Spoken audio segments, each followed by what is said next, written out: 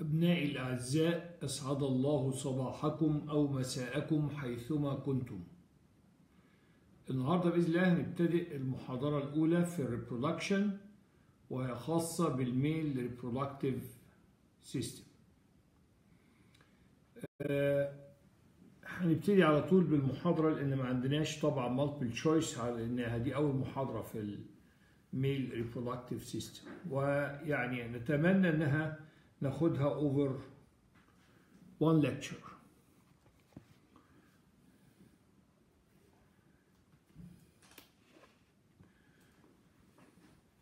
وكما قلت وأقول دائما أن هذه المحاضرات لصالح الأطفال ولمساندة الأطفال من المصابين بالسرطان.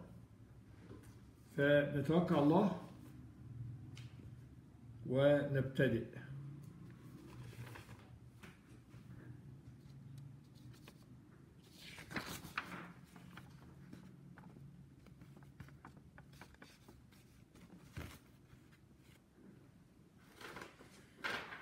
طيب نعدل شوية من وضع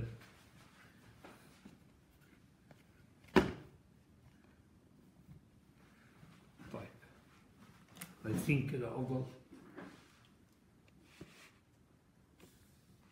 نبتدي الأول بنتكلم على ال anatomy of the male reproductive system.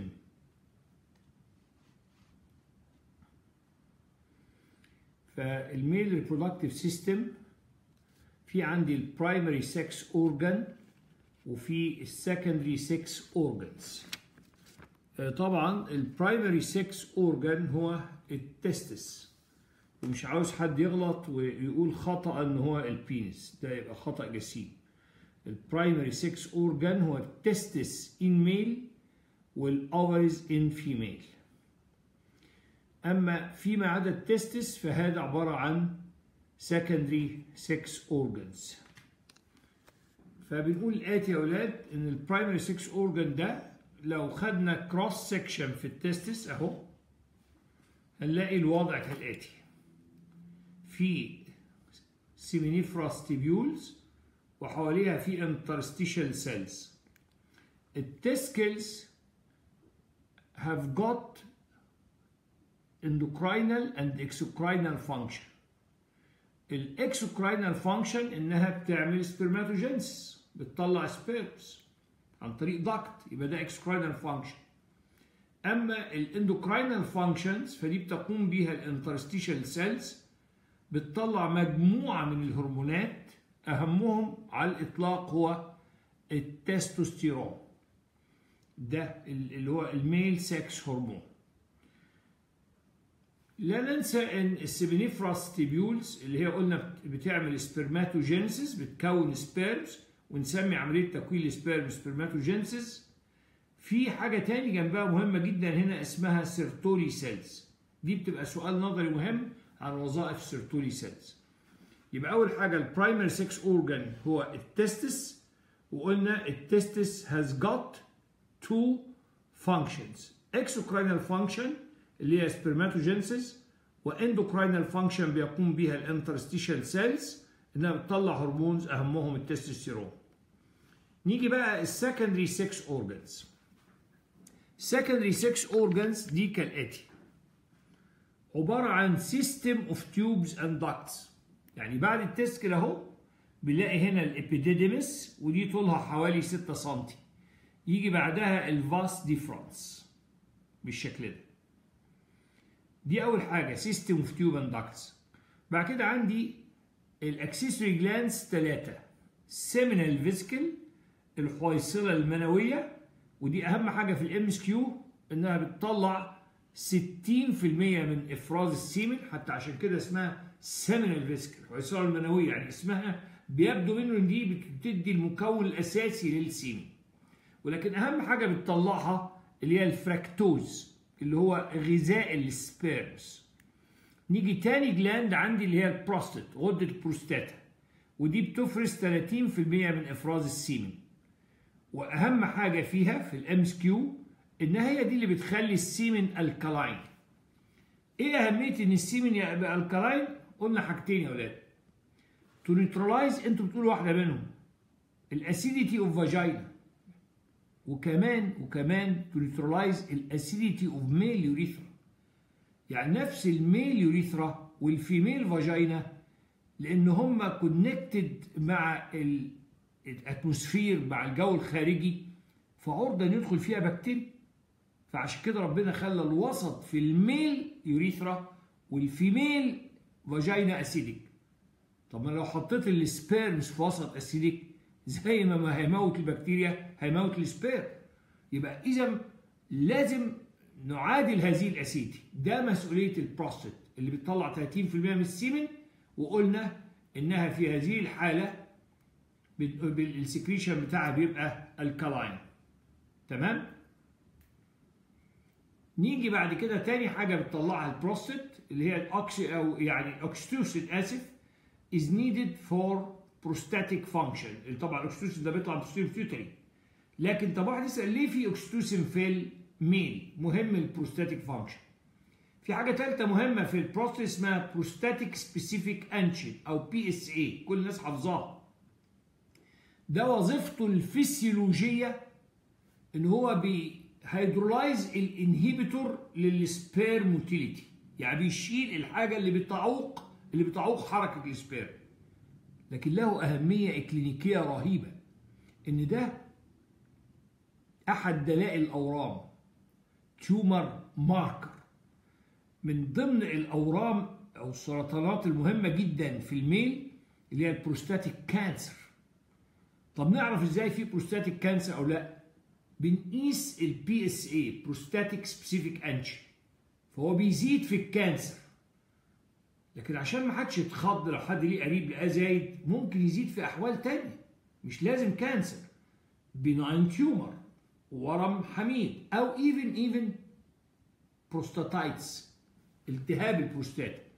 يبقى بيزيد في التضخم الحميد للبروستاتا اللي هو ال benign enlargement of the prostate في ال itis في ال prostatitis التهاب البروستاتا ولكنه ليه من دلائل الأورام لأنه بيزيد في حالات ال cancer. ثالث accessory gland اللي هي ال Cowper glands ودي بتطلع 5% من ال semen وهي دي اللي بتطلع ال mucus. ثالث حاجة في ال secondary sex organs هو ال penis يعني ال penis ده secondary sex organ في نقطة مهمة جدا هتهمنا وهنجي لها بعد قليل إن ال spermatic artery وال spermatic vein بيبقوا في ال pampiniform plexus اللي هي الضفيرة المحلاقية سموها ال pampiniform plexus ضفيرة محلاقية بيبقوا in contact with each other. ودي مهمة جدا هنشوفها في الوظائف. دي كانت يعني صفحة تضيع وقت أقرب منها لأي شيء آخر. يبقى تاني ال primary sex organ هو ال testis في عجالة وده له ال testis has got two functions. exocrinal اللي هو ال spermatogenesis بتقوم بيها ال seminiferous tubules اللي بتحتوي بالإضافة لل germ cells اللي بتعمل ال spermatogonia ال Sertoli cells. و endocrinal function بيقوم بيها ال interstitial cells ودي بتطلع ال hormones mainly testosterone أي حاجة ما عدا ال testis فهي secondary sex organs ودول ثلاث حاجات. system of tubes and ducts اللي هم ال epididymis وال vas deferens. ثلاثة accessory glands ال seminal vesicle اللي بتشكل 60% وأهم حاجة بتطلعها الفركتوز.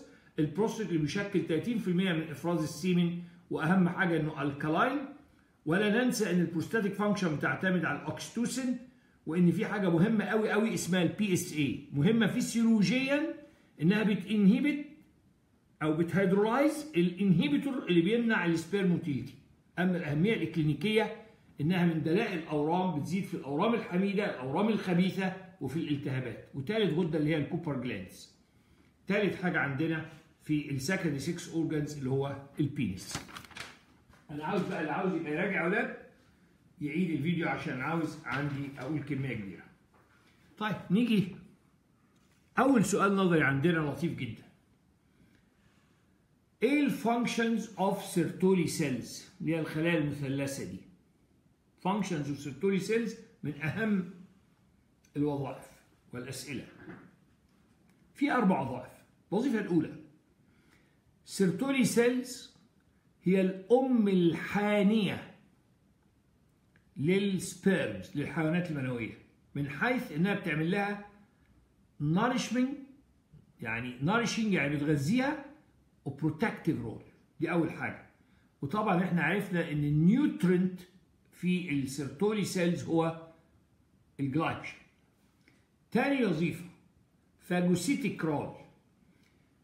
إن في أثناء عملية ال spermatogenesis اللي بيتكون فيها ملايين من ال sperms بيطلع debris يعني حتت صغيرة كده ممكن ت irritate ال sperms. فال Sertoli cells تاني وظيفة إنها بت engulf بتلتهم ال residues اللي هم البقايا ال debris دي during spermatogenesis. طيب ثالث وظيفة. إن ال blood testis barrier ما هو الا ما هو الا اسمع دي مهمة قوي بقى في ال MCQ ما هو إلا tight junction of Sertoli cells ال tight junction of Sertoli cells هو اللي بيعمل blood testis barrier وهذه الوظيفة الثالثة ومصادفة جميلة بتنقسم لثلاثة. يعني ثالث وظيفة فيها ثلاث كلمات. ليه في بارير تملي أنا اقولها بطريقة طفولية يا أولاد. اعتبر البارير ده زي السور اللي بتحطه حضرتك حوالين الفيلا بتاعتك. ليه؟ لثلاث أسباب بنحط السور. عشان نحافظ على قطعة الأرض اللي بنمتلكها. يبقى هنا نقولها بطريقة تانية. To keep the composition of seminiferous tubular fluids. يعني يحافظ على تركيب ال fluid اللي جوه ال seminiferous tubules. هذا ال fluid بيتعمل بال Sertoli cells طب ويفرق عن البلازما في إيه؟ ده أسئلة MCQ في إنه في more potassium و androgen. وخد بالك من اللي جاية دي مهمة قوي. وإيستروجين الهرمون الأنثوي. هنشوف الهرمون الأنثوي ده أهميته في ال spermatogenesis ولكنه يحتوي less protein and glucose يبقى أول وظيفة لل blood testis barrier هي المحافظة على تركيب ال seminiferous tubular fluid اللي عملته ال Sertoli cells واللي هو بيتميز بأنه أغنى في البوتاسيوم وال androgen وال estrogen وأفقر في المواد الغذائية اللي هي ال proteins والجلوكوز. تاني وظيفة أنت ليه حضرتك حاطط سور حوالين الفيلا بتاعتك؟ عشان تمنع خروج ال domestic animals عندك كلاب عندك قطط عشان ما تطلعش بره. نفس الكلمة هنا. Prevents ال antigenic products of spermatogenesis لئلا يتسرب بعض ال antigens اللي اللي موجودة في عملية ال spermatogenesis تروح ال blood واحد يقول لي إيه الخطورة في دي؟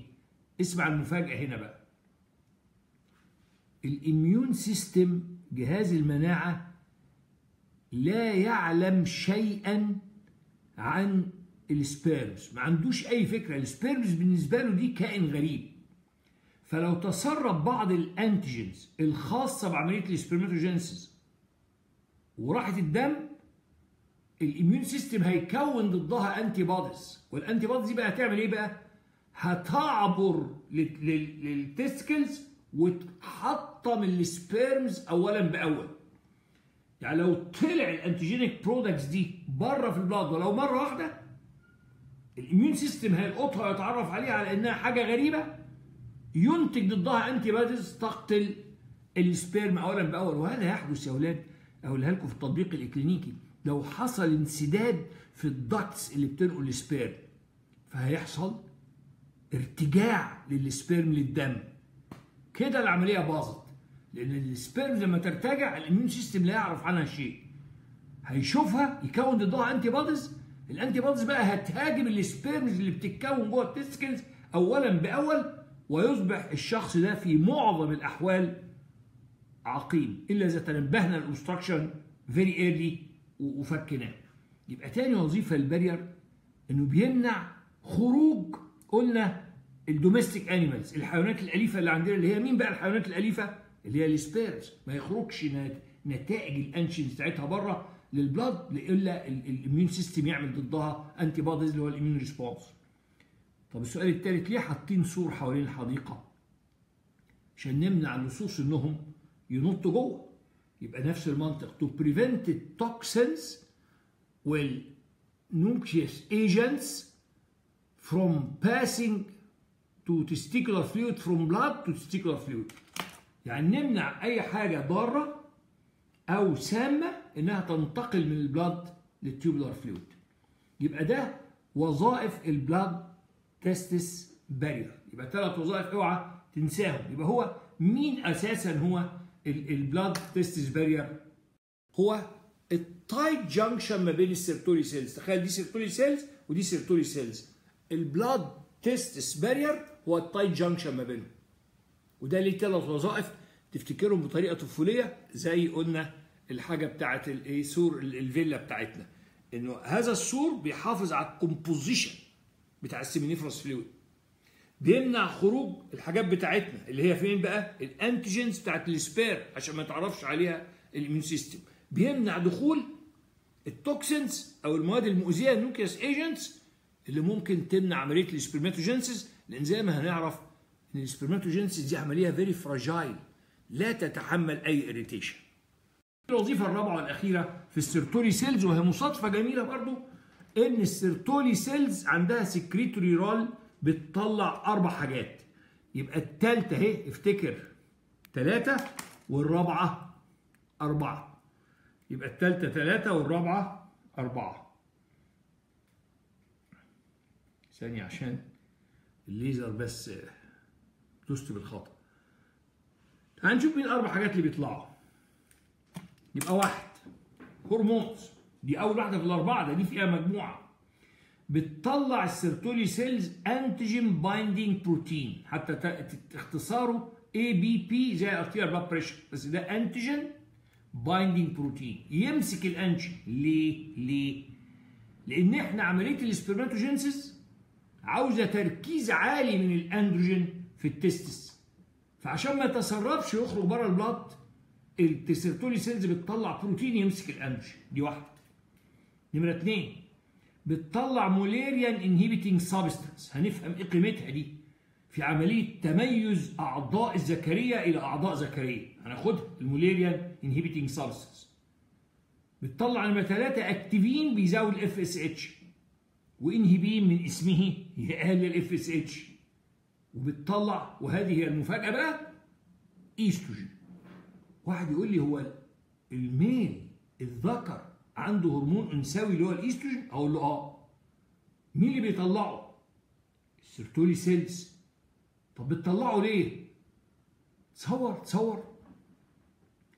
إن أكثر العمليات ذكورية في الذكر وهي تكوين ال sperm تحتاج إلى وجود small amount of estrogen الهرمون الأنثوي.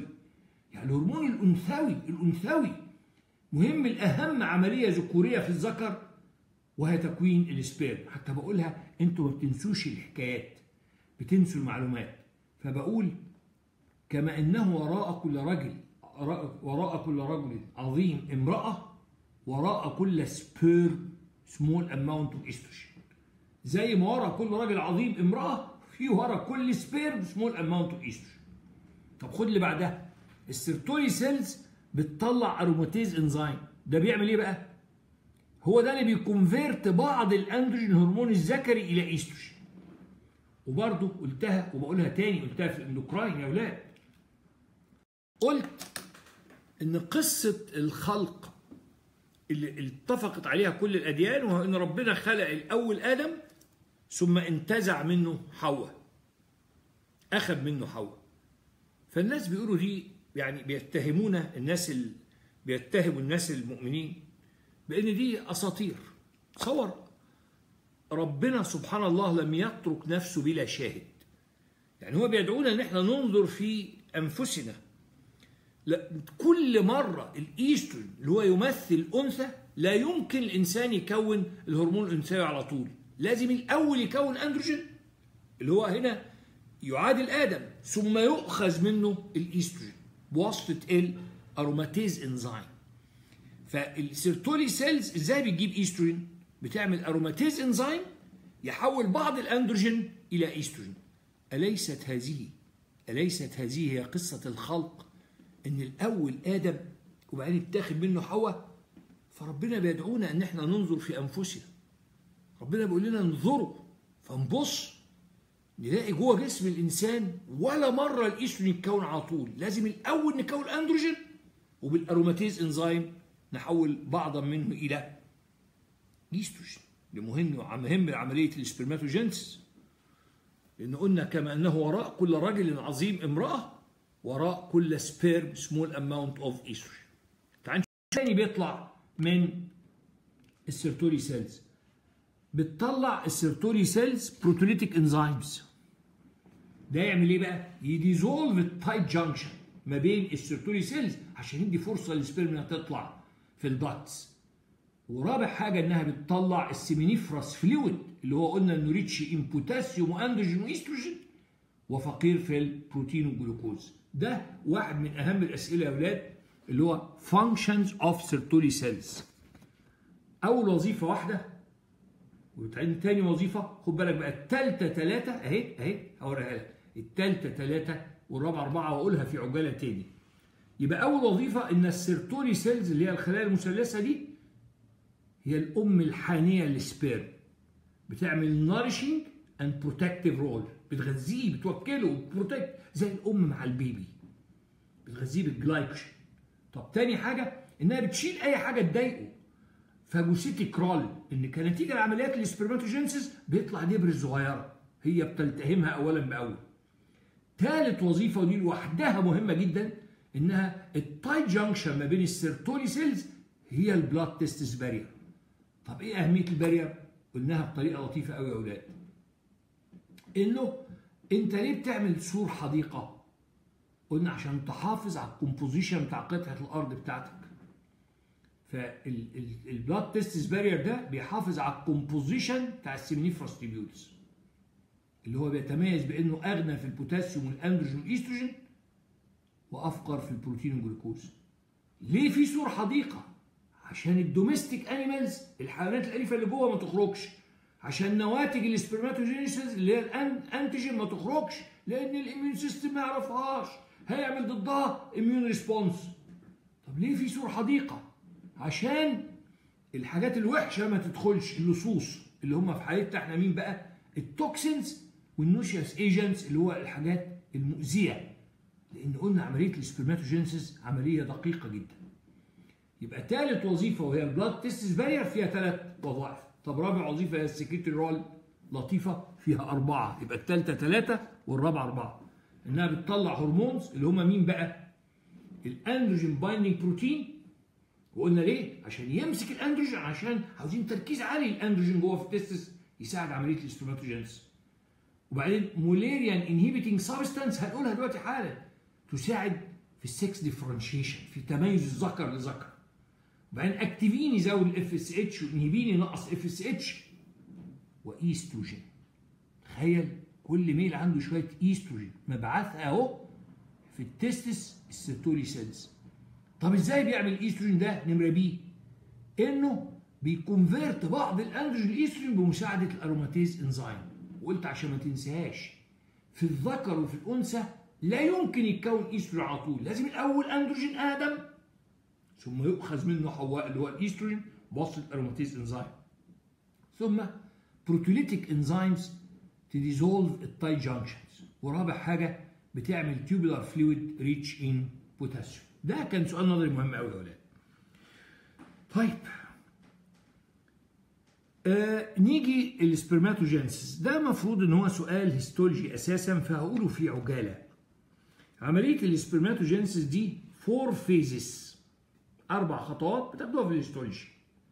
إنما اللطيف إنك تعرف إن كل phase كل مرحلة بتاخد 16 يوم وعليه المراحل الأربعة ياخدوا 64 يوم. يعني عشان تعمل new set of sperms عاوز شهرين 64 يوم. في أول stage اسمه proliferative phase 1 primary spermatogonia بال mitosis يدي 16 secondary spermatogonia وعشان كده سموها proliferative phase انت عارف عدد ال sperms بيبقى بالملايين. ففي أول مرحلة الواحد بيدي 16 فعشان كده سموها proliferative مرحلة التكاثر. ثم تاني مرحلة اللي هي مرحلة ال growth فيها 1 secondary spermatogonia يدي 1 primary هنغير الاسم بقى. spermatocyte من gonia حاجة مخلقة ل cyte خلية. ثالث مرحلة وهي الأهم بقى أولاد ركزوا فيها اللي هي ال maturation.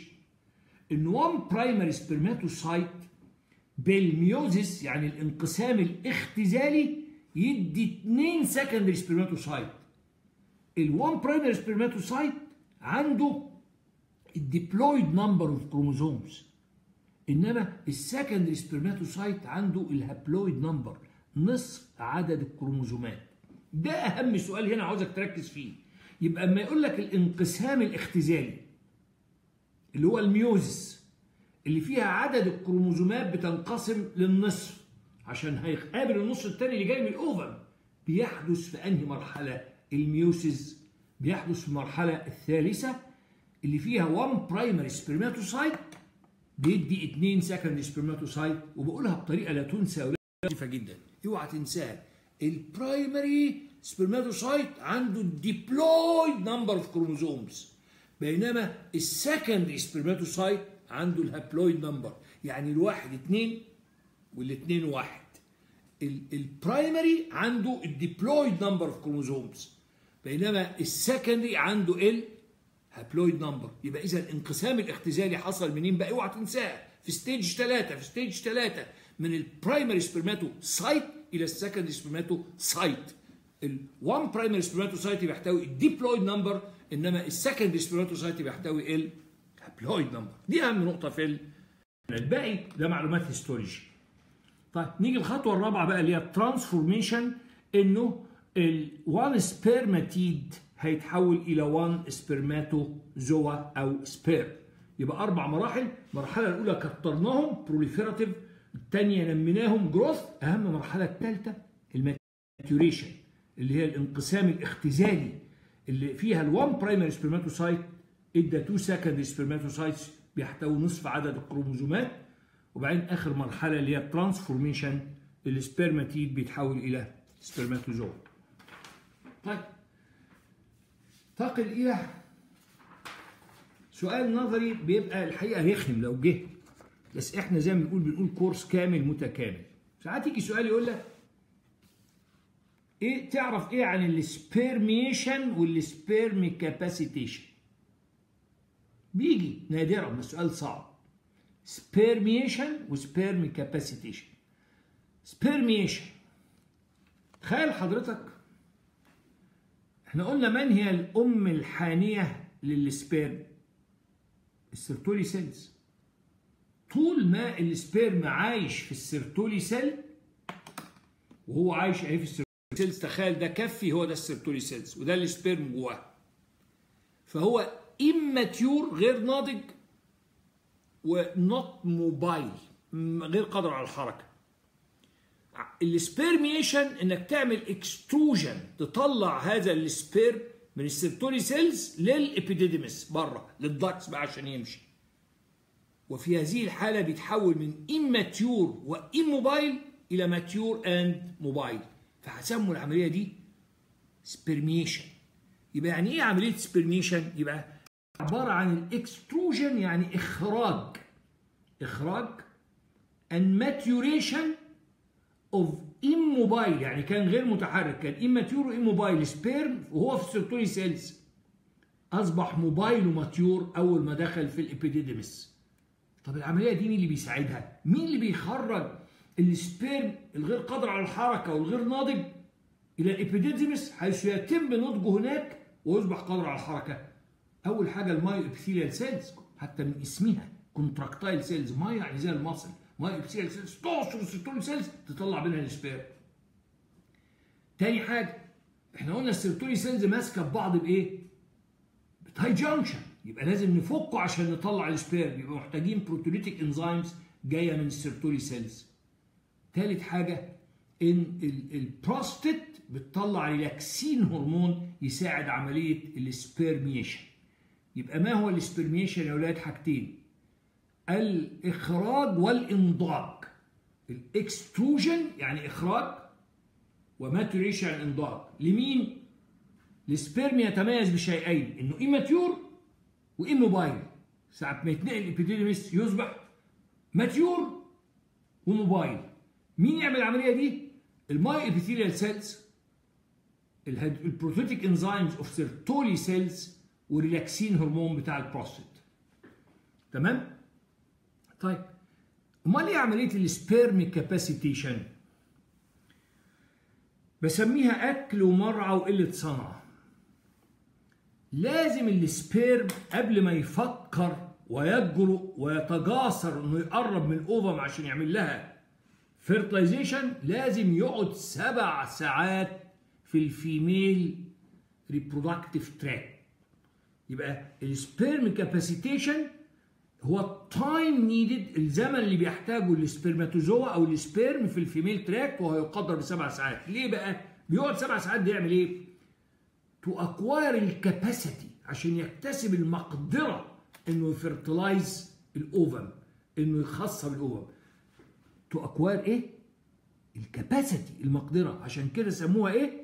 sperm capacitation يعني اكتساب ال sperm المقدرة على إخصاب البويضة يحتاج انه يقعد سبع ساعات في ال female reproductive system بيحصل إيه بقى في السبع ساعات دي؟ واحد بتزيد ال motility of the sperm اثنين بيعمل preparation ل acrosomal reaction وبقولها بطريقة لطيفة يا ولاد عشان ما تنسوهاش بقول بيعمل دماغ.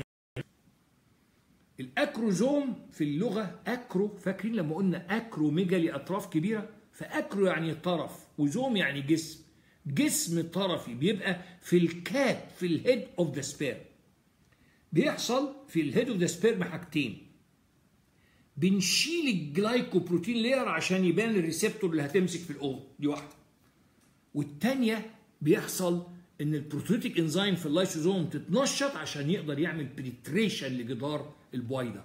هو ده عملية ال acrosomal reaction يبقى ما هي ال acrosomal reaction بقى؟ تعال نشوف. يبقى ال acrosome الأول قلنا هو الجسم الطرفي اللي هو دماغ cap cap. فيها اللايسوزوم اللي فيها ال hydrolytic enzymes اللي هتمكن ال sperm إنه ي penetrate ال ovum زائد بنشيل ال cap اللي عليها بقى اللي هو ال glycoprotein اللي مغطية ال receptor اللي هتمسك في البويضه من الحاجات الطريفة يا أولاد هل عملية ال sperm capacitation دي سؤال مهم جدا في ال MCQ obligatory لازمة لازمة ضرورية لعملية اخصاب البويضة؟ لا.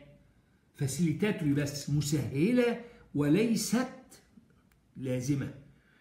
والدليل على ذلك إن إحنا في عندنا اخصاب بيحصل in vitro بره الجسم اللي هم أطفال الأنابيب. ثم بعد ما تخصب البويضة خارج جسم الأنثى بره مش في مش في مش في ال female tract بناخد البويضه المخصبه ونزرعها في الانثى يبقى ما هو ال sperm capacitation؟ هو الزمن اللازم لل sperm في ال female tract. خد الكلمة الجاية مهمة أهي. The time needed for sperm in female tract to acquire ال capacity عشان يبقى عنده ال capacity عشان كده سموها capacitation to fertilize ال ovum بيزيد ال motility ال motility ونمرة اتنين يعمل دماغ افتكرها acrosomal reaction تغيرات في ال cap في الجسم الطرفي اللي هو ال cap بتاع ال sperm. بيشيل ال glycoprotein layer عشان يبين ال receptor وبينشط ال lysosome-like organelle اللي فيها ال hydrolytic enzymes اللي هتساعده على ال penetration ovum وهي عملية مساعدة مساعدة وليست لازمة.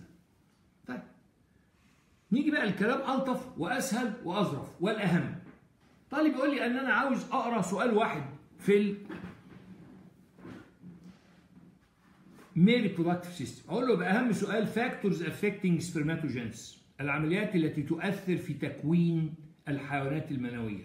factors affecting spermatogenesis وما عشقت ما عشقت مثل عشقي للنظام. فبحب أقسمهم بطريقة لطيفة. في hormonal factors ودول عددهم خمسة و other factors دول عددهم ثلاثة يبقى كده عملنا يعني organization للموضوع. يبقى في هرمونات وفي other factor هرمونات خمسة. نفرض إن أنا مش مذاكر بس طالب ذكي دلوقتي هي الجو... ال testis إذا gonad صح يا ولاد 100% gonad يبقى 100% under the control of gonadotropins بتوع ال anterior pituitary من غير ما أبقى مذاكر هاخد نمر. إن 100% عملية ال spermatogenesis بتحدث في ال testis اللي هي gonad يبقى تحت تأثير ال gonadotropins LH و FSH وهقولها بجملة لا تنسى يا أولاد. إنه الأكشن بتاعهم عكس ال female. يعني في ال female بنبتدي بال follicle stimulating hormone ي stimulate ال follicle ثم ال luteinizing hormone يعمل ovulation يفجرها ويحولها ل corpus luteum يبقى مين بيشتغل الأول في ال female؟ ال FSH ثم LH ال male ال male العكس لو ما خدش بالك منها هتلخبطها. LH مهم لل early stages في ال spermatogenesis بينما ال FSH مهم for late stages طيب ده للطالب العادي. طب للأوائل كمل بقى. LH اوعى تنسى هو ده اللي بي stimulate ال interstitial cells عشان يطلع التستوستيرون. يبقى ده مهم جدا لل secretion ال testosterone. بينما ال FSH الشيء لزوم الشيء بيطلع ال androgen binding protein اللي هيمسك الاندروجين اللي هو التستوستيرون ويحتفظ بيه بتركيز عالي في ال testis لأنه مهم لل spermatogenesis زائد إن هو بيزود عدد LH receptor على ال interstitial cells عشان يجي يشتغل. عشان كده شوف التكامل ما بينهم. يعني LH يطلع ال testosterone وال FSH يطلع البروتين اللي هيمسك التستيرون اللي هو الأندروجين عشان يحافظ عليه. ال FSH يزود عدد LH receptor على ال interstitial cells ويجي LH يشتغل على ال interstitial cells يطلع التستوستيرون تبقى مصيبة لو نسينا إن التستوستيرون مهم لل spermatogenesis هو ليه ربنا خلى ال testis اللي بتعمل spermatogenesis في ال seminiferous tubules في جنبيها interstitial cells تطلع التستوستيرون بقولها بالبلدي الشيء؟ لزوم الشيء. يبقى 100% التستوستيرون ده مش بس مهم لل spermatogenesis وبتركيز عالي. عشان كده ال FSH طلعت androgen binding protein فالتستوستيرون مهم لل maturation phase. يعني السؤال في ال MCQ بطريقة ثانية إن ال early stages لا تحتاج تستوستيرون are androgen independent مش عاوزة تسترون مش عاوزة اندروجين تاني حاجة مهم لل complete meiosis اللي هو الانقسام. تالت حاجة مهمه مهم لل development وال function of germinal epithelium يبقى مهم ال maturation phase not the early stages مهم for meiosis وبعدين مهم for development and function of germinal epithelium دول أهم ثلاث هرمونات يا أولاد طيب في سؤال بقى يبقى لطيف قوي. إيه الحاجات اللي بتحتفظ ب high concentration of testosterone ثلاث حاجات. اولا إن ليه ال concentration تركيزه عالي في ال testicle لأنه بينتج في ال testis ال interstitial cells في ال testis أدي أهم سبب. طب تاني سبب إن عشان يقعد تركيزه عالي ال FSH طلعت androgen binding protein يمسكه. بروتين يمسكه عشان يقعد تركيزه عالي. طب تالت حاجة وهي الجميله قوي يا أولاد اللي هو ال counter current blood supply. ال counter current blood supply وتعالوا اشرحها لكم بطريقة جميلة جدا. فاكر إن كنا قلنا إنه ال artery ال spermatic artery مجاور لل spermatic vein بالشكل ده. يبقى مجاور أهو. فتعال نشوف إيه اللي هيحصل. أنا بس برسمها أنا آسف. شايفها؟ ده ال spermatic artery جاي بالدم وده ال spermatic vein شوف الروعة في الخلق الالهي يبقى تيار متعاكس لأن الدم في ال artery جاي ناحية ال testicle الدم في ال vein away from the testicle التستوستيرون اللي هيحاول يهرب من ال testis تركيبه إيه؟ ال sex hormone steroids فاكرهم؟ يعني soluble in lipid يبقى تدوب في ال cell membrane وتعدي لل artery فترجع تاني لل testis. ده اسمه counter current mechanism شيء رائع. يعني ما الذي أهم هرمون لل spermatogenesis هو التستوستيرون؟ إيه اللي خلى تركيزه عالي في ال testis؟ واحد إنه بينتج في ال testis بال interstitial cells. اثنين FSH بتطلع androgen binding protein يحتفظ بيه في ال testis حتى الكميات اللي هتهرب بسبب هذا التيار المتعاكس counter current إن الدم طالع في ال vein كده وجاي في ال artery كده إن التسترون اللي هرب في ال vein عاوز يخرج بره لأنه لأنه steroid soluble in lipid عدى من خلال الجدار ورجع ال artery عشان يرجعه تاني. testis شيء رائع رائع. رابع هرمون إن قلنا ال activin وال inhibin ال activin بيزود ال FSH بينما ال inhibin بينقص FSH وإحنا لسه قايلين ال FSH ده مهم for spermatogenesis خامس هرمون other hormones في مجموعة هرمونات ثانية برضه مهمة لل spermatogenesis ال growth hormone والبرولاكتين مهمين لل early stages في ال spermatogenesis إحنا قلنا التستيرون كان late stages وبعدين الثيروكسين مهم لعمل ال sperms بدليل إن الطفل اللي كان cretin اللي عنده hypothyroidism كان عنده impotence و sterility الليبتين اللي هو بيخلي الشخص رفيع اللي بيطلع من ال hypothalamus مهم لل puberty للبلوغ زي ما هنشوف دلوقتي. ولا تنسى ولا تنسى صدق ولا تصدق كما أنه وراء كل رجل عظيم امرأة وراء كل sperm small amount of estrogen ال estrogen small amount مهم لل spermatogenesis لأنه بي mediate ال action of FSH وعشان كده بيساعد ال FSH وعشان كده ال FSH هو هو اللي جاب المساعد بتاعه. هو اللي بيطلع ال aromatase enzyme اللي بيحول بعضه من الأندروجين إلى ايستروجين يبقى كلام رائع يا أولاد كلام رائع. يبقى خمس هرمونات مهمة لل spermatogenesis. حضرتك تفكر بهدوء. ال spermatogenesis بتحدث في ال testis اللي هي gonad يبقى 100% under the control of gonadotropins اللي هم LH وال FSH بس معكوسين LH مهم لل early stages في ال spermatogenesis بينما ال FSH ال late stages وتكمل LH بيطلع testosterone ال FSH شيء لزوم الشيء بيطلع ال androgen binding protein اللي بيمسك التستوستيرون عشان يحتفظ تركيزه عالي. زائد إنه بيزود عدد ال receptor of LH على ال interstitial cells عشان يطلع تستوستيرون. ثالث هرمون وأكثرهم أهمية اللي هو التستوستيرون مهم للماتيوريشن فيزيس مهم لكم الميوسيس مهم للديفلوبمنت والفانكشن بتاع الجيرمال ابيثيليوم وقلنا إيه الحاجات اللي بتحتفظ بالتركيز عالي.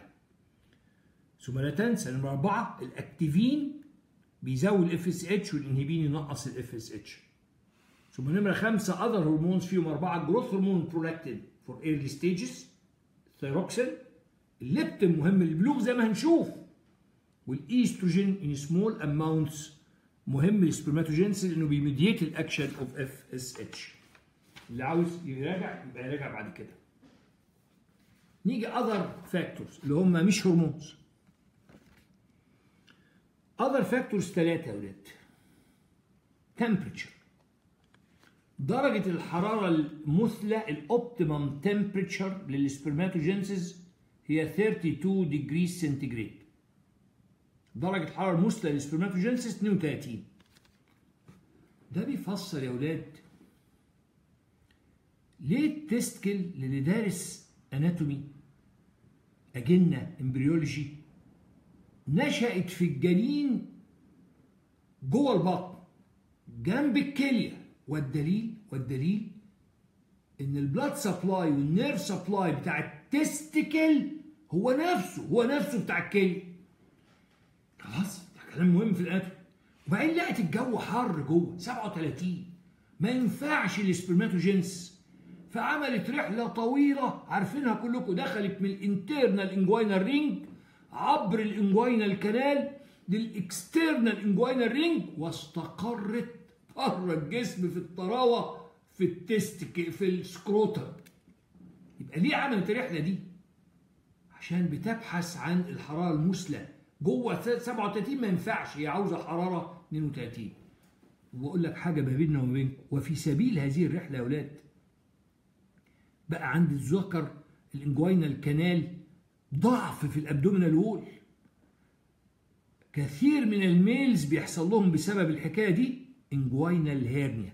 يبقى رحلة ال testicle للخروج من السخونة 37 داخل abdomen كانت جنب الكلية لها نفس ال blood supply وال nerve supply يبقى لاحظ في ال anatomy بتاع الكلية. عشان تخرج بره في ال scrotum خرجت بال inguinal canal اللي اللي هو استمر ضعف في الجدار بتاع ال abdomen. ينفايت يدعو حدوث حاجة اسمها inguinal hernia طيب. وفي أجهزة تكييف جوه تؤكد الحرارة تقعد 32 فتعال نشوف. افرض الدنيا بردت قوي نزلت الحرارة على 32 طب نزود الحرارة ل 32 إزاي؟ إيه الحاجات اللي تزود الحرارة؟ حاجتين. ال contraction of cremasteric muscle اللي عارفينها أنتوا دي branch من ال internal oblique تشد ال testicle ناحية ال abdomen ناحيه الدفع. طب وال contraction of dartos muscle اللي هي ال muscle اللي موجودة في ال scrotum في كيس الخصية. فلما تنقبض ال muscle دي اللي هي ال dartos muscle كيس الخصية يصغر. فال surface area تقل فما يحصلش فقدان للحرارة في البرد. يبقى يوجد شيئان يحافظوا على الحرارة عند 32 لو نزلت two muscles ال cremasteric muscle تشدها ناحية ال abdomen اللي هي branch internal oblique وال dartos muscle تقلل ال surface area بتاع ال scrotum فتقلل ال heat loss طب افرض بالعكس الدنيا سخنت. الحاجات اللي بتساعد على التبريد حاجتين برضو هنا حاجتين وهنا حاجتين. إن ال skin بتاع ال scrotum very thin أهو ملاحظ؟ وما فيش subcutaneous fat بما يسمح بفقدان الحرارة. وحاجة تاني رائعة بقى اللي هو ال testicular vessels اللي خدناهم فيهم counter current system وتعالى مرة تاني أوريك إن كل حاجة كان وراء كان وراءها يعني سبب إلهي رائع. راحت فين الصورة؟ هشوفها حالا وهجيبها وأشرح لك القصة. 100% الدم المتدفق عن طريق ال artery ده جاي من جوه الجسم درجه حرارته 37 هيسخن ال testis. بينما الدم اللي خارج من الكلية في ال venous blood ده بارد لأنه جاي من بره بره الدنيا ساقعة. يبقى ده سخن وده بارد. فيحصل إيه؟ الحرارة تنتقل من ال artery إلى ال vein. ال artery اللي هو الدم فيه أسخن 37 لأنه جاي من جوه تنتقل إلى ال vein اللي هو الأبرد. يبقى ال artery ساب السخونة اللي فيه قبل ما يروح لل testis فده يحافظ على برودة ال testis. يبقى هذا ال counter current mechanism عمل حاجتين رائعتين. إنه التستوستيرون اللي هرب في ال vein رجعه تاني رجع لل artery ورجعه لل testis والحرارة السخنة اللي جاية لل testis هربت لل vein وتبددت راحت للجسم عشان نحافظ على حرارة ال testis يبقى ال counter current mechanism serves two functions انتقال التستوستيرون من ال vein إلى ال artery لأن ال steroids بيحافظ على تركيز التستوستيرون عالي في ال testicles انتقال الحرارة من ال artery إلى ال vein بيخلي ال arterial blood يجي أقل حرارة ال testis فيحافظ على درجة الحرارة المثلى اللي هي 32 طيب عاوزين نشوف بقى ال proof بتاع هذا الكلام. اثبت إن درجة الحرارة المثلى هي 32 proof بتاع هذا الكلام. في مرض اسمه proof cryptorchidism وهي كلمة من ثلاث أجزاء. crypt يعني مختبئ. بدليل حتى في ال histology بتاخدوا crypt crypt تلاقي حاجة تحت مختبئة. orch يعني خصية. ism يعني مرض. ف cryptorchidism يعني مرض الخصية المختبئة. لو baby اتولد ال testicle جوه ال abdomen فشلت في إنها تنزل في ال scrotum لو ال two testicles جوه ال abdomen عملية ال spermatogenesis بتقف وال baby ده يبقى sterile عقيم. إمتى؟ إذا كان bilateral لأنه الإنسان يحتاج إلى نصف خصية. فلو خصية واحدة بس اللي هي ما نزلتش مفيش مشكلة. لكن لو الخصيتين الخصيتين ما نزلوش يحصل sterility خد بقى بقيت سؤال مهم جدا في ال MCQ يا أولاد. طب ال testosterone production ما ال testicle لها وظيفتين سبرماتوجينسيس اللي هي الوظيفه ال exocrinal و testosterone production اللي هي ال endocrine لا ال testosterone production يحصل في 32 ويحصل في 37 لو ال testicle جوه وعليه التستوستيرون يبقى عادي جدا وعليه مظاهر البلوغ مظاهر البلوغ في هذا ال ال ال الشاب أو الطفل تبقى تيجي في وقتها عادي خالص يبقى ال secondary sex organs are normal يبقى اقولها بطريقة ثانية عشان تفهمها في ال MCQ. للخصية يوجد وظيفه يوجد وظيفتين. ال spermatogenesis هي دي اللي وظيفه very fragile حساسة جدا. لازم درجة حرارة تبقى 32 لو جوه 37 ما تحصلش. إنما ال endocrinal function اللي هي ال testosterone production وهو اللي مسؤول عن ظواهر الرجولة ده لا مش حساس. يطلع في 32 ويطلع لو الخصية ما نزلتش وقعدت جوه ال abdomen درجة حراره 37 يبقى تاني ال baby ده سؤال مهم جدا في ال MCQ اللي عنده bilateral undescended testis يعني both testes ما نزلوش وضعه إيه؟ bilateral مش هيخلف لكن مظاهر الرجولة والتستيرون هتبقى عادية خالص. تاني proof prolonged fever الشخص اللي عنده حرارة عالية لما يبقى فوق 37 بيبقى تحت 32 طب لو فوق 41 هيبقى تحت 36 ما هي انقص بحوالي خمس درجات. أو ال hot bath الناس اللي بتقعد كده تاخد حمام سخن وينشن ال shower على منطقة ال testis كده ضيع ال spermatogenesis كده ما فاتش الموضوع نيله بنيلة. أو ال tight underpants اللي هو الناس اللي بتلبس يعني ملابس داخلية ده قوي قوي فيروح كابس ال testicle جنب ال abdomen حيث الحرارة العالية فما يحصلش spermatogenesis ال testicle مع الاعتذار في التعبير يا ولاد تحب الرحراحه ما تحبش الزنق تزنقها ب underwear ضيق تلزقها في ال abdomen في الحرارة العالية ما يحصلش spermatogenesis كل ده ي inhibit ال spermatogenesis يبقى ده ال temperature تاني حاجة ال diet. سيبك من العبط اللي يقول لك فيه اكلات معينه تزود الخصوبة واستاكوزا والكلام الفارغ ده. سيبك منه. ده كله يعني يعني أضغاث أحلام. هما في حاجتين في ال diet مهمين لل spermatogenesis proteins وال vitamins.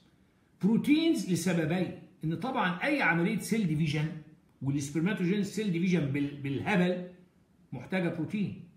كما إن ال gonadotropins ال gonadotropins بتوع ال pituitary اللي هم مهمين لل spermatogenesis هم بروتين. طب نيجي ال vitamins. انهي vitamins نحتاجها؟ أنا كاتبها لك بطريقة لطيفة قوي. A B C فوت ال D واكتب E A B C E لو نقص فيتامين A ال testicle كما الجلد هيحصل فيها keratinization وال epithelium فما يحصلش spermatogenesis انت لو نقص فيتامين A بيحصل في جلدك إيه؟ يتكون keratin layer يبقى خشن ال keratin layer دي لو ناقص فيتامين A هتتكون تحت في ال testicle تمنع ال spermatogenesis طب ال B complex مهم لعمل ال DNA اللي مهم لل division فلو نقص ال B مفيش DNA مفيش division يبقى مفيش spermatogenesis فيتامين C مهم للتستوستيرون. لو نقص فيتامين C مفيش تستوستيرون. فيتامين E ده anti-sterility vitamin in rats مش في حضرتك مش في ال human beings خلاص لو انت فار لو نقص فيتامين E مش هتخلف آخر حاجة نمرة 8 في الثلاثه اللي هم ال other factors إن قلنا يا أولاد إن عملية ال spermatogenesis عملية رقيقة جدا. فال prolonged exposure to X-ray وال radiation بيوقف ال spermatogenesis عشان كده أفتكر وإحنا لما اشتغلت نائب في القصر العيني أنتوا بتفتكروا الحكايات. كان مرتبي فاكره كويس قوي نائب في القصر العيني 29 جنيه؟ في ذلك الزمن. لما رحنا نقبض كانوا نواب الأشعة بياخدوا 32 جنيه. فانبرى أحدهم وسأل هم ليه بياخدوا 3 جنيه زيادة عننا؟ فالصراف ردوا قالوا دول نواب أشعة عرضة للإشعاع ممكن يجي لهم عقم. فبياخدوا بدل عقم بدل عقم 3 جنيه. طيب تاني حاجة bacterial و chemical toxins قلت لكم عملية ال spermatogenesis حساسة جدا أي حاجة توقفها. عشان كده حتى قلنا إن كان في blood brain barrier لكن طبعا ال blood brain barrier ده يا ولاد مش absolute لو زادت ال toxins قوي في جزء منها هيعدي ويطير. فالبكتيريا وال chemical toxins ممكن توقف ال spermatogenesis وأشهر حاجة التهاب الغدة النكافية هنا. لما واحد يجي له mumps يطلع toxins تروح لل testicles ت destroy ال spermatogenic epithelium. هنا هقول معلومات أنا للزملاء الأصغر سنا مهمة جدا. لو طفل جاله التهاب الغدة النكافيه وهو الأغلب لا تؤثر على ال testis. ليه؟ لأن في الطفل ال testis non-function مش شغالة وبالتالي ال blood supply بتاعها قليل جدا انها مش شغاله طب هو ال toxins هتوصل إزاي لل testicle تحت؟ عن طريق ال blood supply اللي هي طب هي ال blood supply بتاعها قليل يبقى يوصلها كميه قليله من ال toxin يبقى مش هيحصل حاجة. يبقى الخطورة لو واحد كبير جاله mumps لأن هنا ال testicle function عندها high vascularity ففي فرصة لل toxin عن طريق ال vessels الكتيرة دي توصل تحت وتأثر على ال testicle however معلكش الكلام ده بقوله للزملاء الأصغر سنا. لو واحد كبير جاله mumps التهاب الغدة النكافيه احتمال العقم 5% فقط في ال male. 5% فقط في ال male. وحتى ال female بيبقى فيه احتمال للعقم بس أقل كتير. 5 من 10% يعني عشر الكمية. طيب. poxia. لو ناس راحوا يعملوا ال honeymoon شهر العسل في الجبال فوق سويسرا هناك آمرين إن هم يجيبوا baby. عمره ما هيجيبوا baby لأن ال hypoxia هت inhibit ال spermatogenesis. يبقى دي العوامل التي تؤثر في ال spermatogenesis يا أولاد تبقوا حافظينها صم. خمسة hormonal مين يقولها كده معايا في عجالة؟ ال spermatogenesis تحدث في ال gonads يبقى 100% under the control ال gonadotropins FSH و LH بس معكوسين LH early وال FSH late stages ثم اوعى تنسى ثالث هرمون واهمهم تستوستيرون في ال testis مهم ال spermatogenesis. ده هو ربنا عمله في ال testis عشان يبقى الشيء لزوم الشيء جنب ال spermatogenesis جنب ال seminiferous tubules. وقلنا إيه اللي بيحافظ على تركيزه عالي؟ ثم ال activin وال inhibin نمرة أربعة ثم other hormones نمرة خمسة. أدي خمسة.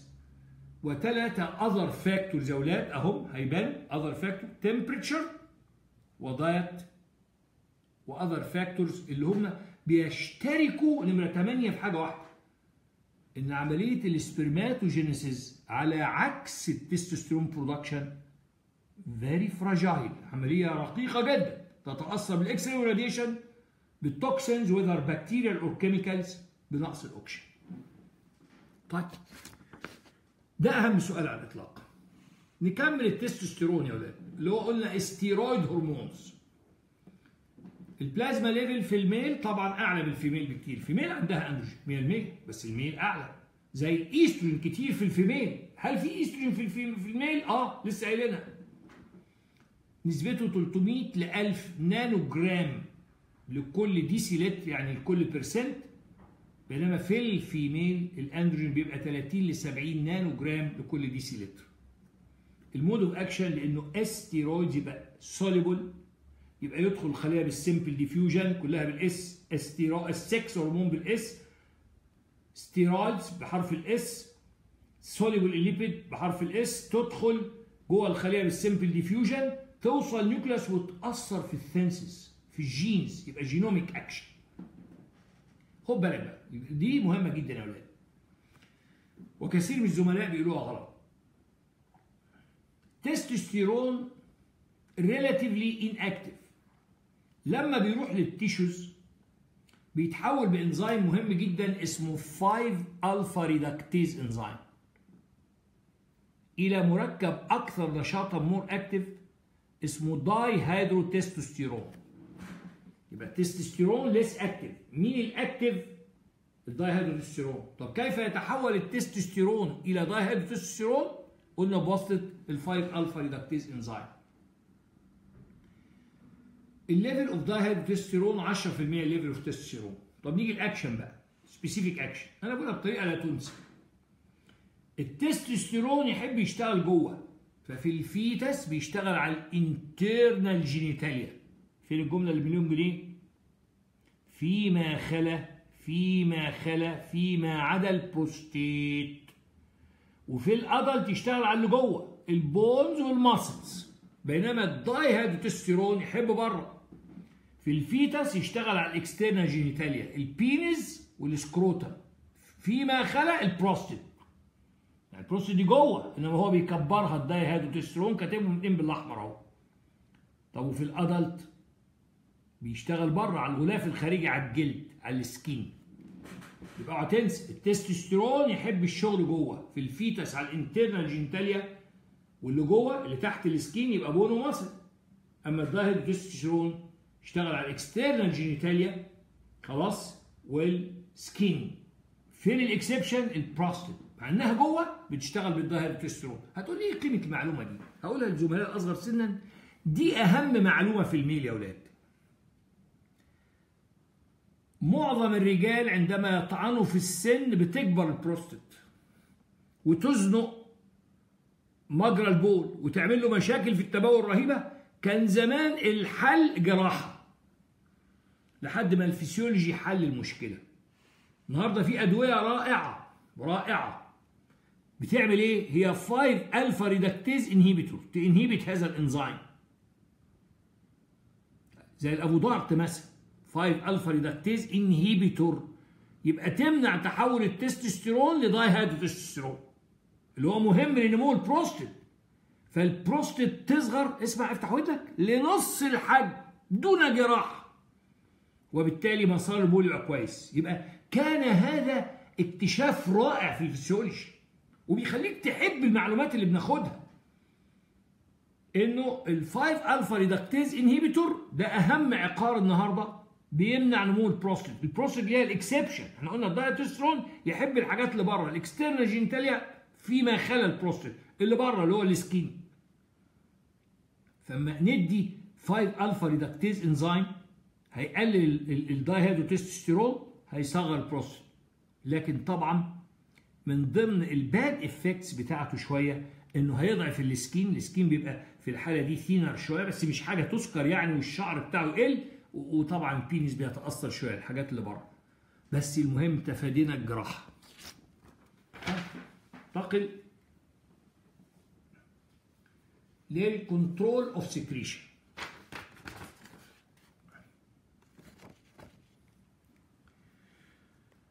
لما يجي لك ده برضه سؤال مهم جدا يبقى غير الأكشن في control of secretion الإجابة الأوائل. لما يقول لك ال control of secretion تستوستيرون لازم تتكلم في أربع مراحل في الحياة. في ال intrauterine life في ال neonatal في في في الطفل المولود puberty في البلوغ في ال old age after 60 years old.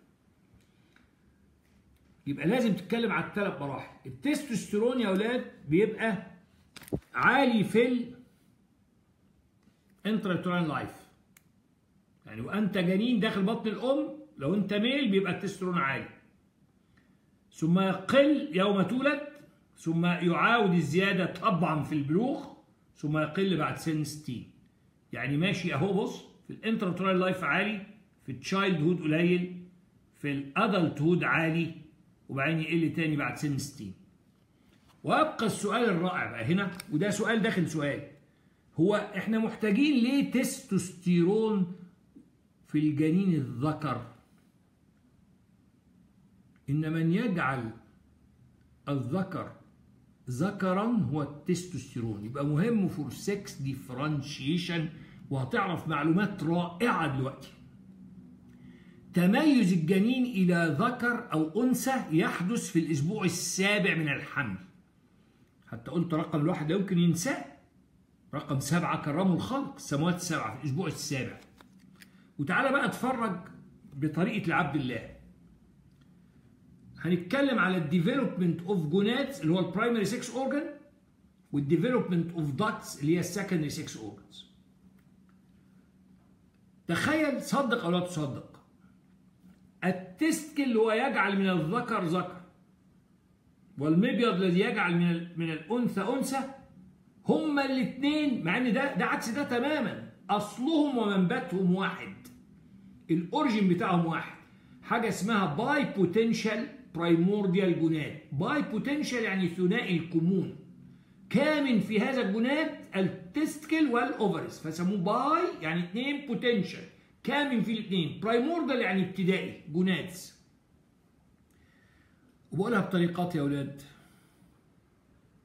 الله يعلن عن وحدانيته. حتى الذكر والأنثى اللي هم يبدو يبدويا متباينان. يبدويا متباينين آسف. إلا إن أصلهم أصل التسكل وأصل الأوفريز حاجة واحدة.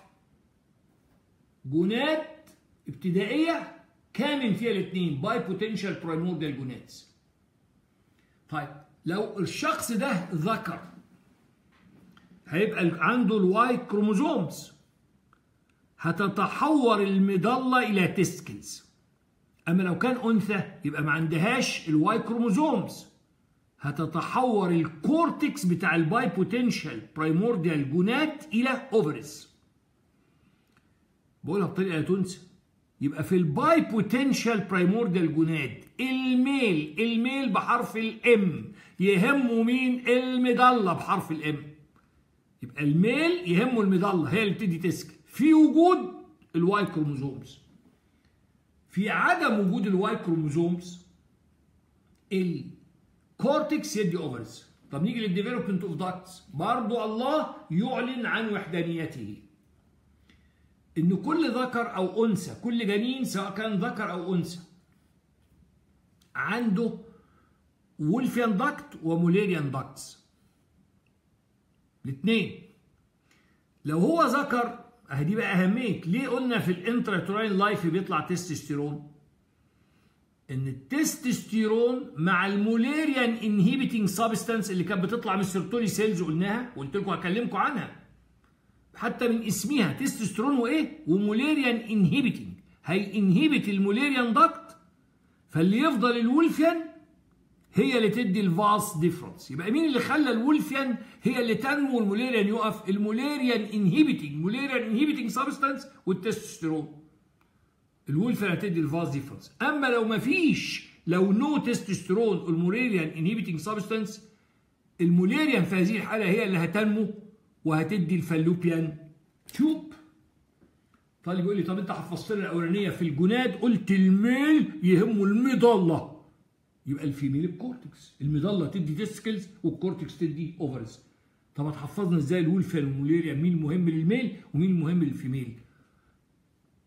ألا يقع في روعك لما أقول Wolffian يجي في ذهنك إيه؟ كلب إيه؟ كلب إيه؟ كلب wolf يجي في ذهنك إن ده غالبا الكلب wolf ده ذكر. يبقى الميل يهمه الولفين الولفين هو اللي مهم الميل يبقى الفيميل يهمها الموليريان في وجود التستوستيرون والموليريان انهيبيتنج سبستانس الولفيان في الميل الولفيان تدي الفاس ديفرنس في عدم وجودهم الف... ال Müllerian تدي fallopian tube ده لوحده سؤال يا أولاد مهم جدا اللي هو ال sex differentiation تميز الجنس كيف يصبح الذكر ذكرا وكيف تصبح الأنثى أنثى في الأسبوع السابع.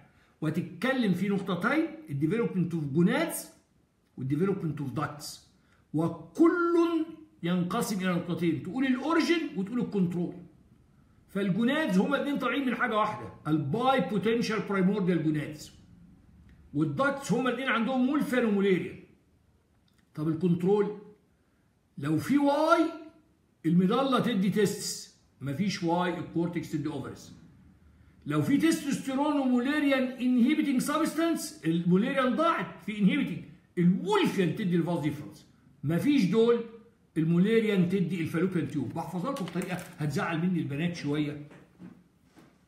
بس هتحفظوها بيها. بس هصالحهم بعد شوية. يعني كأن يا أولاد الأساس هو الذكر. لو في Y يبقى في testicle ما فيش خليها ovary لو في testosterone و Müllerian inhibiting ال Wolffian تبقى vas. مفيش مفيش.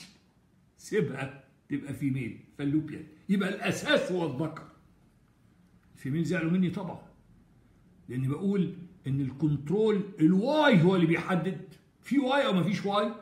في ال gonad وال testosterone وال Müllerian inhibiting هي اللي بتحدد ال ducts موجودين ولا مش موجودين. هصالحهم بطريقة مختلفة.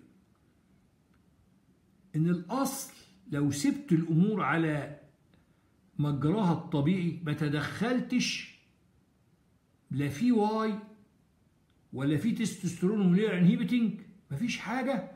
الطبيعي إنها تمشي ناحية ال female. عشان تغيرها من female إلى male تحتاج ال Y عشان يعمل لك ال medulla testicle وتحتاج ال testosterone وال Müllerian inhibiting عشان يعملوا لك ال Wolffian duct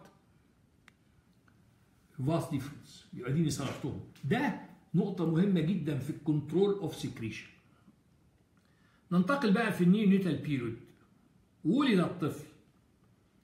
فلما اتولد التستوستيرون stops طب ليه ليه ال testicle بطلت تطلع تستوستيرون لما اتولد الطفل؟ لأن أنا قلت يا أولاد إن ال pituitary في الأطفال ما بتطلعش gonadotropin hormones. لأن ال hypothalamus ما بتطلعش gonadotropin releasing hormone وعليه ما فيش gonadotropins وعليه ما فيش تستوستيرون. طيب نيجي المرحله الثالثة في ال puberty.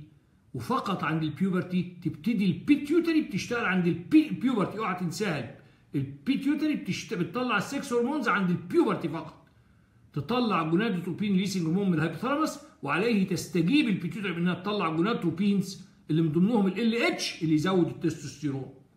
طبعا في فترة ال adulthood البلوغ. يبقى كل حاجة شغالة. ال hypothalamus تطلع gonadotropin releasing hormone ال pituitary تطلع gonadotropins اللي أهمهم هنا ال luteinizing hormone لأن هو ده اللي بي stimulate ال interstitial cells إنها تطلع تستوستيرون ثم بعد سن 60 يا أولاد يبتدي التستوستيرون ي decline.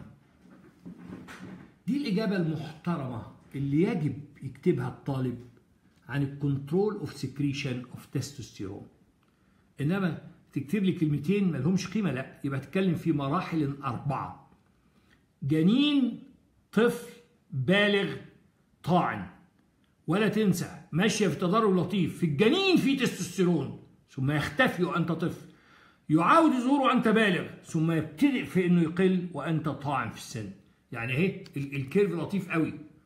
عالي في ال intrauterine life يقل في ال child عالي في ال adulthood يقل في ال old age وأوعى تنسى في سؤال لوحده ال sex differentiation من أهم المواضيع اللي هو يثبت شيئا واحدا.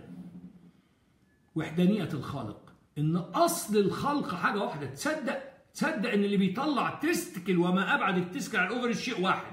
bipotential primordial gonads واللي يطلع ال ducts حاجة واحدة. Wolffian Mullerian لو في Y نروح ناحية ال male في ال gonads لو في تستوستيرون و Mullerian inhibiting يوقف ال Mullerian ونروح ناحية ال male بال Wolffian والعكس في ال female.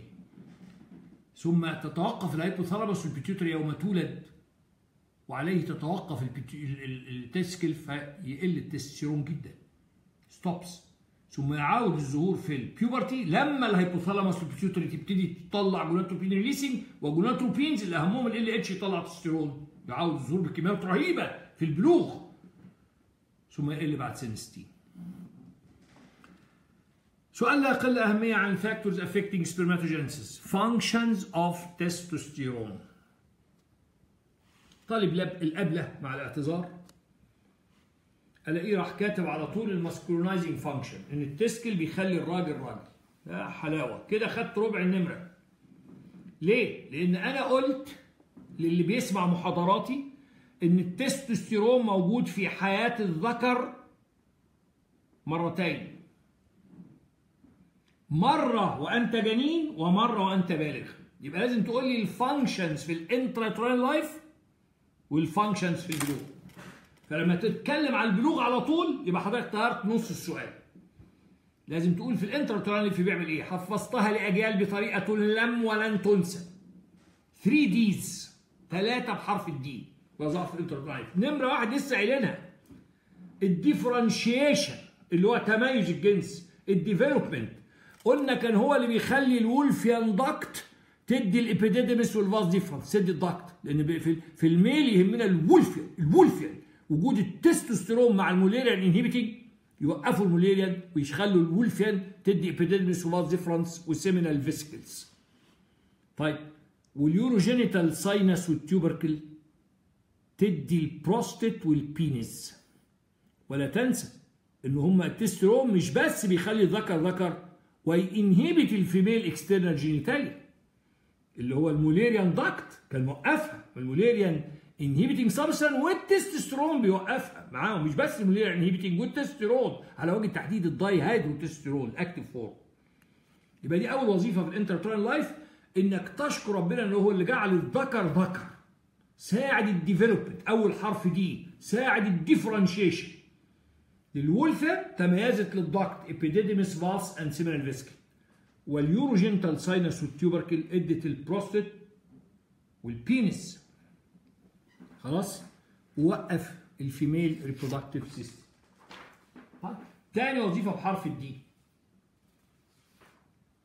يبقى أول حاجة development of male sex organ. تاني حاجة differentiation of male brain.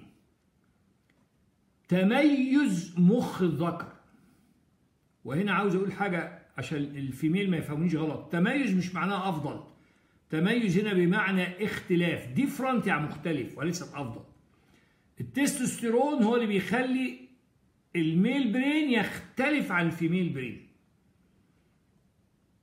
مرة طالب سألني هو هو هو مخ الذكر يختلف عن مخ الأنثى؟ قلت له آه يختلف. ما قلتش أفضل قلت يختلف. الأفضلية دي عند ربنا بيقررها ربنا. طب يختلف في عندي إثبات دامغ.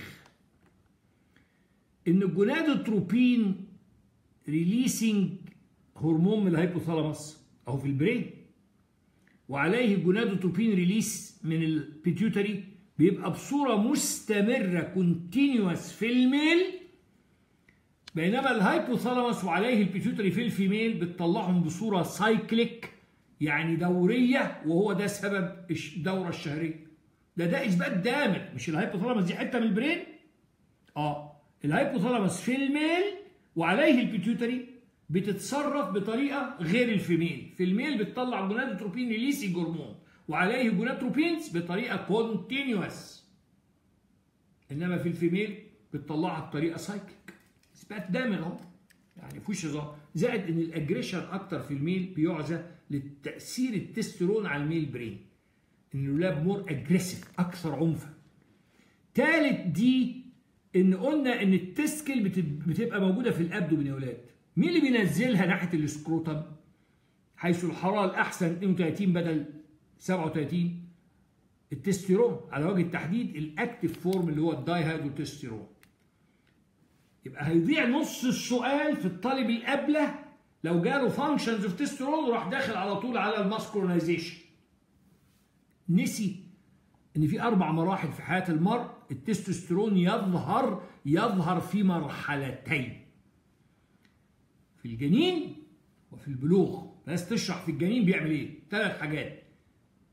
Development of male sex organs, differentiation of male brain, and descent of testicle عن طريق ال dihydrotestosterone. اللي عاوز بقى يراجع يبقى يراجعها عشان أنا عاوز بإذن الله أخلص ال male النهارده. نيجي بقى للمرحله الثانية ال puberty and adulthood. هي نص السؤال قلنا لو سبت ال intrauterine يبقى ضاع نص السؤال. puberty وال adulthood لاحظ التسترون مش مهم بس إنه بيعمل الراجل راجل اللي هو ال masculinizing effect. عشان كده قلت اللي بيكتبوا ال masculinizing effect دول خدوا ربع السؤال لأنه نسوا النص الأولاني وفي ال puberty وال adulthood ال testosterone مش مهم بس ال masculinizing effect مهم لل general metabolic effect. بيعمل protein anabolism وأقولها تملي أنتوا ما بتنسوش الحكايات بتنسوا المعلومات. لما الناس تطعن في السن في تقول ألا ليت الشباب يعود يوما فأحكي له عما فعل بي المشيب. عارف مين اللي بيخلي صحتكم في الشباب كويسة؟ التستوستيرون في الذكور ال sex hormones. فإزاي تنسى إن من أهم وظائف التستيرون غير إنه يخلي الراجل راجل؟ إنه بيخلي صحتك كويسة له effect على ال general metabolism أهمهم protein anabolism. على ال muscle وال bones يخليها قوية. نرجع بقى ال masculinizing effect هنتكلم ثلاث نقاط مع شق عشق النظام. على ال primary sex organ على ال secondary sex organs أي حاجة ما عدا ال testis وبعدين على ال secondary sex characters على ال primary sex organ قلنا مهم لل spermatogenesis. قلنا تستوستيرون كان مهم لل maturation of sperm maturation stage مش كده؟ مهم لل spermatogenesis بتاع ال primary sex organ طب نيجي على ال secondary sex organs قلناهم. التستوستيرون مهم للحاجات اللي جوه زي ال seminal vesicle وال bulbourethral glands ال dihydrotestosterone مهم للي بره. ال penis وال scrotum افتح ودنك فيما خلا فيما عدا. البروستات مهم ليها ال dihydrotestosterone الكلام بتاع الطلبة الأوائل. مش التهجيص. يكتب لي secondary sex organ مهم لل develop لا تحدد التستوستيرون مين وال dihydrotestosterone مين. اللي جوه testosterone ال testosterone يحب الحاجات اللي جوه. حتى في القدم بيحب ال muscles وال bones ال dihydrotestosterone يحب اللي بره. penis scrotum بره وال skin بره. بس في ما إيه بقى اللي هي مهمة جدا؟ ولها تطبيق كلينيكي البروستات نمرة تلاتة على ال secondary sex characters. ومع شق مثل عشق النظام هاخدهم من فوق لتحت عشان ما تنساش. تأثير على ال hair. ننزل على ال skin على ال larynx الحنجرة على ال body configuration وبعدين على ال behavioral effect وحاجات معروفة. نمسك ال hair. غش مشروع. بص في اللجنة. تلاقي عدد من الذكور فقدوا شعر الرأس. بلاد بس اللي بيصلعوا. يبقى التستوستيرون بيقلل ال scalp hair وعلى النقيض يزود ال body وال face hair شنب ودقن وحاجات كده. شعر الجسم. وال pubic hair يخليها triangular with the apex upwards. لما نيجي يا أولاد في ال female هنقول العكس في حصص ال female. هنقول إنها الايستروجين بيزود ال scalp hair في الأنثى. يقلل ال face وال body hair وال pubic hair مثلث رأسه لفوق. يعني triangle with the base upwards. بيبقى خط مستقيم كده في ال female. إنما ال male شعر العنه بيبقى triangle with the apex upwards. ال female لأ بيبقى straight وال apex لتحت. ال base هو اللي فوق. أدي ال hair نمسك على ال skin. كلام كله عارفينه 100% في ال male. ال skin بيبقى more thick وبيزود إفرازات الغدد الدهنية. sebaceous gland secretion فال males يبقى أكثر عرضة لل acne اللي هو حب الشباب.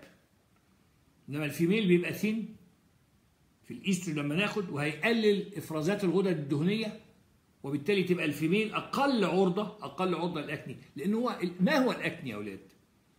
هو غدة دهنية من كتر إفراز الدهون اتسد ال duct بالدهون والتهبت. أدي حب الشباب.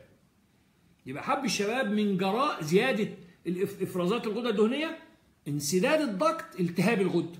مين اللي بيعمل ده؟ التستوستيرون عشان كده ال male بيبقى عنده بيزود ال sebaceous gland secretion إفرازات الغدة الدهنية وبالتالي يبقى more أكثر عرضة مش فقط لل acne من ال female. نمسك على ال larynx يقول لك تفاحة آدم. بيكبر ال larynx enlargement of larynx وعليه يطول ال vocal cords وإحنا خدنا في ال hearing ال long يدي low pitch voice deepening voice.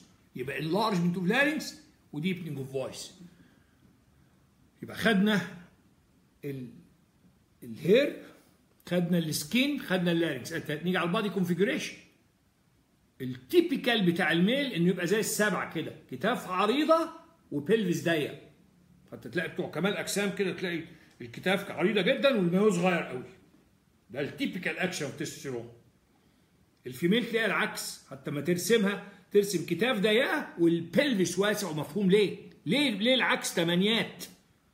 فوق ضيقين ال female كتاف ضيقه وال وال وال وال pelvic الحوض واسع عشان الولادة. يبقى ال typical في ال male يبقى سبعات في ال female تبقى ثمانيات هنا broad shoulder و narrow pelvis هنا بالعكس. بتبقى في ال female هيبقى narrow shoulder و broad pelvis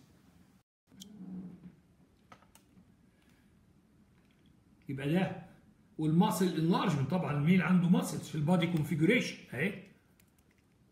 نيجي ال behavioral effects اللي بيخلي الولاد عندهم رغبة في البنات هو التستوستيرون يبقى بيزود الليبيدو اللي هو الرغبة.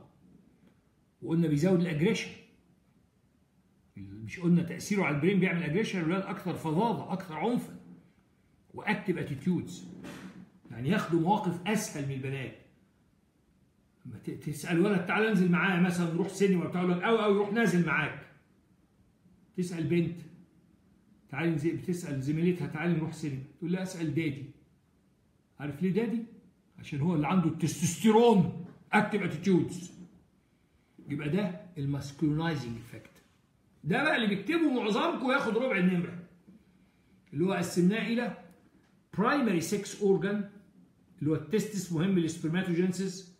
secondary sex organs تقول مين مهم فيه التستوستيرون للأوائل ومين مهم ال dihydrotestosterone التستوستيرون يحب الحاجات اللي جوه فيما خلا البروستات ال dihydrotestosterone اللي بره penis scrotum والبروستات ال secondary sex characters تاخدهم من فوق لتحت hair معلومات من الحياة skin larynx body configuration and behavioral effects. طيب نيجي عشان تاخد full mark بقى اوعى تنسى إن الصحة اللي انت فيها تعزى للتستوستيرون general metabolic effect أهمهم protein anabolism ليت الشباب يعود يوما؟ ال muscles تبقى قوية وال bones بسبب التستوستيرون. secondary to protein anabolism قلناها يا ولاد 100 مره عمر ما كان ال muscle بروتين بس بروتين جواها minerals بوتاسيوم جوه وصوديوم بره. عمر ما كانت ال bones بروتين بس فيها كالسيوم وفوسفورس. فأي هرمون يعمل protein anabolism الطالب ال ال ال النابه الواعي تاني عنوان محفوظ يبقى يعمل salt and water retention أي هرمون يعمل protein anabolism تاني حاجة تبقى salt and water retention اوعى تنسى بقى اللي جاية دي. growth spurt then epiphyseal closure حاجات من الحياة يا ولاد. تلاقي ولد قصير ثم يجي في البلوغ لما يطلع التستوستيرون يطول وفجأة يروح يقف نموه يبقى growth spurt يعني انطلاقة النمو followed by epiphyseal closure حتى بقول عشان ما تنساش بطريقه فيها مزاح مين اللي بيوقف نموك بعد ما يعمل انطلاقة؟ التسترون وكذا في ال female. اللي يعمل لها growth spurt ال estrogen ثم يعمل epiphyseal closure بقول عشان بحكاية ما تنساهاش عشان كده الشخص اللي شالوا منه ال testis اللي هم يسموهم الخصيان يعني شالوا ال testis بيبقوا أطول. يعني لو جبت identical twins يعني لو أحضرت توأمين متماثلين ويوم ما اتولد واحد فيهم شلت ال testicles الشخص اللي هو يعني متشال له ال testicles يبقى ما حصلوش closure بيفس يبقى أطول taller. مع إن المفروض هما اثنين identical يبقى نفس الطول. يبقى ال testicle يعمل انطلاقة في النمو لازم تقول الأول growth spurt هو اللي يخليك تنمو بسرعة وبعدين epiphyseal closure الاثنين ما تقولش واحدة من غير الثانية growth spurt then epiphyseal closure وبعدين بيكبر حجم ال kidney. كبر ال kidney size ليه؟ يعني عاوز حد فيكم يفكر. لما هناخد الايستروجين هنلاقيه مهم على ال bones مش مهم على ال muscle ال muscle في ال male أعلى كتير من ال female. يعني التسترون بيكبر ال muscles وال bones. في ال female estrogen bones بس. طب ال muscle دي مش بتطلع كرياتين.